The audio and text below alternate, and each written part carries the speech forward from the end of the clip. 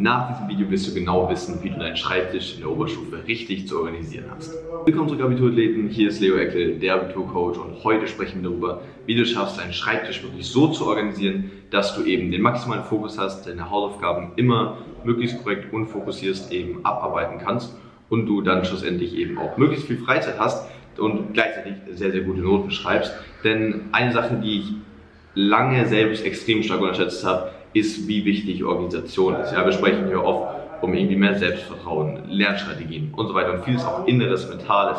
Aber wie es um dich herum aussieht, ja, beeinflusst maßgeblich auch, wie es in dir vorgeht. Ja, ihr seht zum Beispiel im Hintergrund ähm, einen Teil unseres äh, neuen Büros hier in Düsseldorf und unser Büro sieht einfach schön aus. Ja, hier ist nichts irgendwie schmutzig oder was auch immer, weil wenn du irgendwie in einer Umgebung bist, in der du dich nicht wohlfühlst, wo nicht einfach auch schon von außen eine klare Struktur vorgegeben ist, dann wird es auch deinem Hirn sehr, sehr schwer fallen, sich wirklich richtig gut zu fokussieren.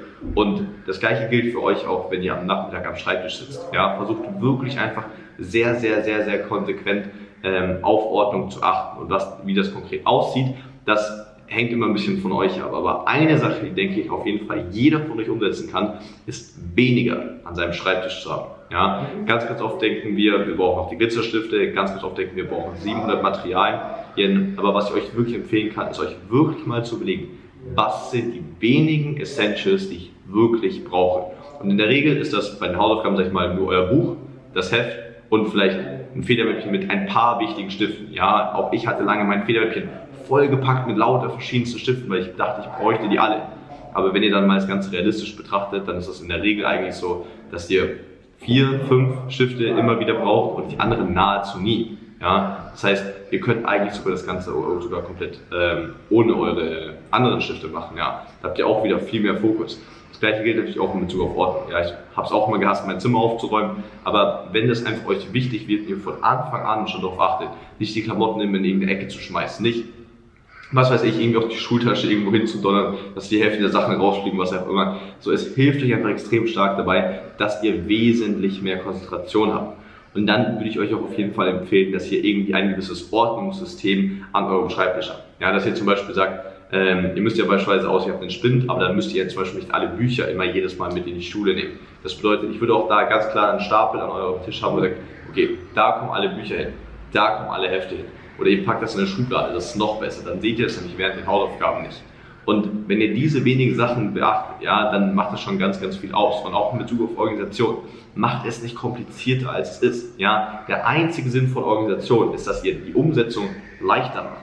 Das bedeutet, wenn du dir einfach bewusst wirst, hey, ich brauche einfach nur ein paar wenige Dinge an meinem Schreibtisch und das ist all das, was ich umsetzen muss, dann ist alles perfekt. Ja, ihr braucht dann nicht noch mehr. Ja, sondern ihr habt einfach nur diese paar wenigen Dinge und könnt euch auf die dann eben auch wirklich konzentrieren. Und was ihr dadurch auch lernt, ist dieses viel zielorientiertere Arbeiten. Ja, niemand gewinnt irgendwas, weil irgendwie euer Schreibtisch besonders schön aussieht. Ja, ähm, bildet euch auch nicht ein, dass ihr euch irgendwie noch wohler fühlt, wenn alles rumliegt und so weiter.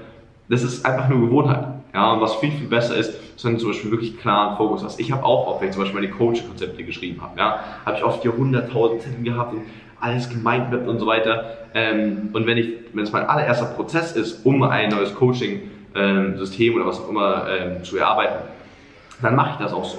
Aber schon im nächsten Schritt habe ich meistens nur noch meinen Laptop, ja, jetzt gegebenenfalls eine Kamera, aber ich habe nicht mehr.